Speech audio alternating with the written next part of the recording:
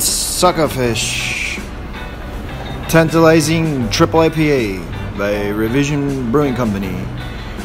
This triple IPA is 11.5 alcohol by volume and 120 in the International Bitters Unit. This sweet siren song of a hoppy nectar will beacon you.